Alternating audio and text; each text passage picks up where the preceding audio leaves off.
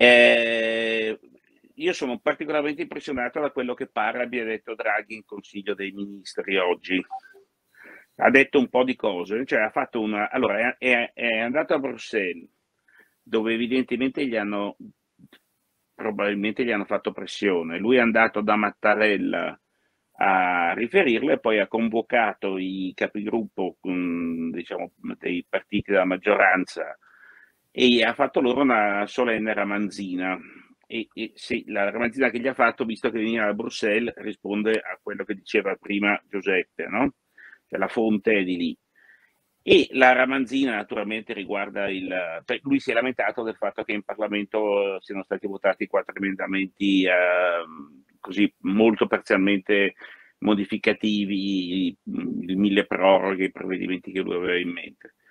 Ma le cose che ha detto sono impressionanti perché oltre a dire va bene il governo è qui per fare le cose non si va avanti e le cose naturalmente sono le, le riforme e le opere delle quali parlava Giuseppe, ma poi ha detto delle cose incredibili, due in modo particolare. La prima, il governo è qui per fare le cose, il Parlamento a garantirgli i voti, cioè il eh. mestiere dei partiti e del Parlamento è garantire i voti a quello che fa il governo, perché quello che fa il governo non può essere messo in discussione, perché me lo dice Bruxelles, ok? Riforme e, e, eh. e opere e poi la seconda cosa incredibile che ha detto, questa veramente è Draghi, cioè questo, se io dovessi scrivere un libro su Draghi, parlerei di questa frase qua. Non ah. siamo qui per essere realisti, cioè a contatto con la realtà, siamo qui per essere idealisti.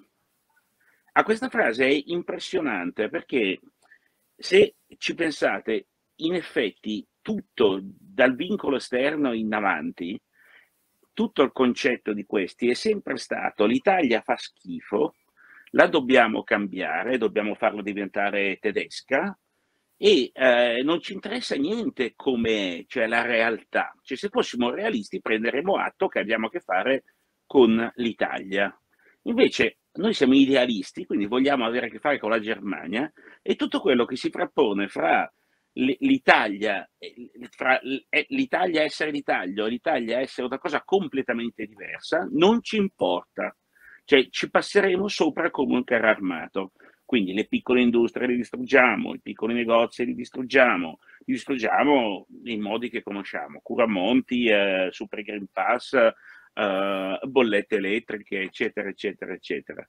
E, e questo è Draghi e, e, in fondo è anche il super green pass, no? Cioè noi vi imponiamo delle riforme che, che a voi sembrano manifestamente assurde, delle spese, come diceva Giuseppe, assurde, perché certamente non è in quelle cose lì che dovremmo spendere, non, non dobbiamo spendere, non dobbiamo metterli lì, per esempio delle macchine elettriche, e Uh, però, però, quello, quello che, però non, non, ce ne frega niente cioè non ci interessa se quello che vi stiamo ordinando non risponde, voi non l'avreste mai fatto, perché dovete essere idealisti.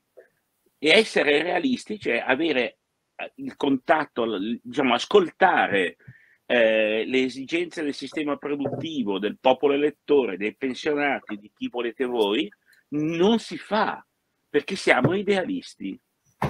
Ecco.